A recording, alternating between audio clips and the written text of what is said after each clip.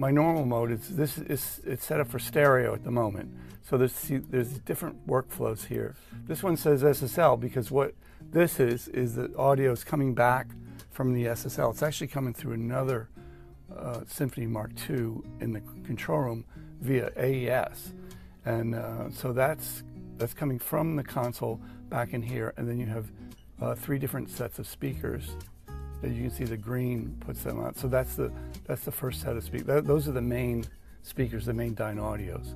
You click there, and then this is the Yamaha speakers, and then this is the actually t- they're they're going to a TV set, and um, it's just a separate reference.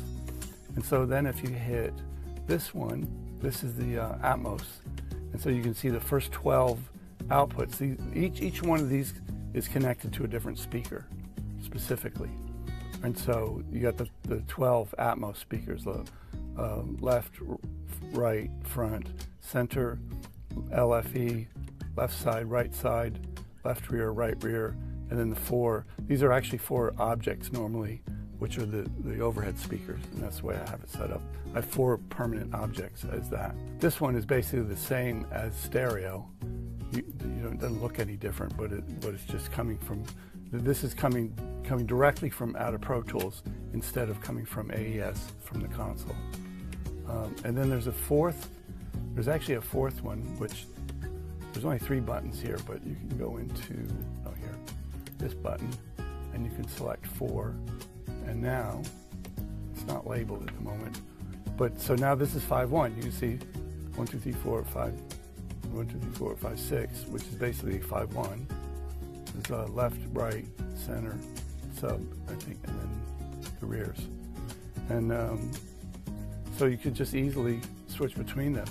And then it's just a matter of setting up Pro Tools so that the right buses are coming to the right, the right inputs on this.